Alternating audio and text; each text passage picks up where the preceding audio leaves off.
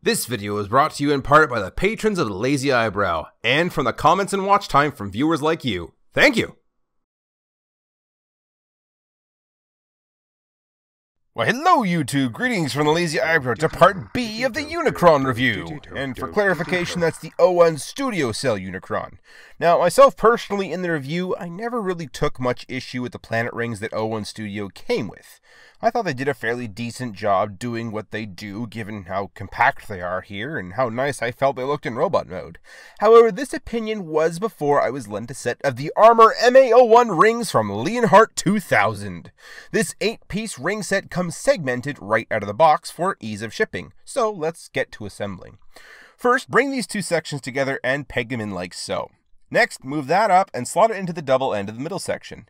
And then tug the last bit and plug it into the other end of the middle section and you've got one finished side. Adjust parts to the proper angle, get two of them together, and you're ready to go orbital. Next, take off the pain in the butt smaller ring set and pray it doesn't snap on you like mine did for the second time while filming this. Then on the bigger rings, contrary to the smaller rings, you start by plugging into the main port. Next, you plug in the folding piece into the top part, and then you repeat for the opposite side. And then getting them to connect to each other is super easy, barely an inconvenience, which again is such a breath of fresh air compared to the stock configuration. You just separate the double ended bit, get the mono end to position, and then loop the hole around the two other pegs. And there we go. Snap that thing together, and you've got yourself a set of Unicron rings. Now, as impressive as this is, it does sort of leave the question how does one actually display this thing? Well, thankfully, this seems to have been thought of beforehand by Zeta Toys, and probably the reason why the planet comes with two suction effects in the first place, you know, instead of pretending he's a cosmic duck or a big candy or something. So what you do is you basically just take the two cones, rotate one of them 45 degrees, and then you peg them into each other. From there, you put both of them through one of the support pillars on the bottom. One of them slots over the giant rings. In fact, they're even molded grooves into the round cylinders for easy slotting. And then you wrestle with the whole dang thing until it fits. It's not a fun operation, but uh, it's what you gotta do, basically, because clearances are just ever so much a pain in the butt. And then there you go, a rickety display option for your planet mode. I personally don't like this. The cut slot feels like the weight of the planet is forcing the plastic apart, and I just don't like how it feels. Maybe it's fine, I don't know. Maybe it's not going to break. I'm not an expert, but I personally would rather an actual stand. And since the original stand I designed had the original rings in mind, a full redesign was in order, as just stretching the Z axis was not going to do here. And thus the reason why I was lent this set in the first place. So, this is my new stand for the big rings, the design of which can be found on my Cults 3D page. I'm not putting this on Shapeways though, due to the absolutely insane pricing they want for this. But if you feel you absolutely need one, I can custom make them. You just gotta message me for now until I get the website going. So with stand talk out of the way, let's talk about the rings. And man, what an upgrade! Like these rings add just over double the diameter. And on paper, I felt like that wouldn't be terribly necessary, but in hand, oh man, I was so wrong. Like they go from the puny space station rings to massive planetary ring system. It's so imposing and so well, Unicron. Like they look awesome and they totally fit what they're going for here easily the mode it improves upon the most. The Transformers will return after these messages.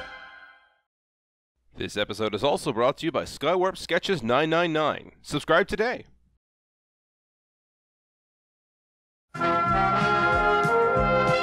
We now return to the Transformers.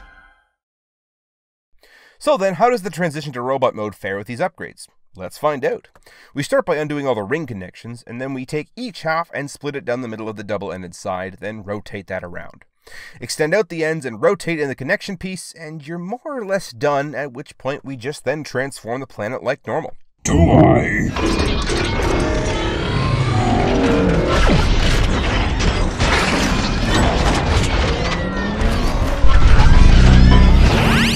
So here's Unicron with the original heavy metal skeleton wings. And now here's Unicron with the new death metal skeletal wings.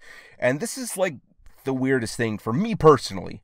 I considered getting this set, but in nearly every video I saw going over this, I just felt they didn't look good. Like they were just too clunky and overly big. And uh, in video, it just wasn't doing it for me. And having these in hand, it's like, wow, this is nuts. Like, these look like proper wings for the Planet Eater, the Chaos Bringer, the true villain of the 86 movie Unicron.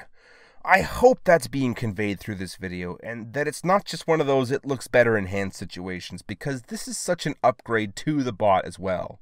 Like he looks properly imposing like he should be. Like this is Unicron.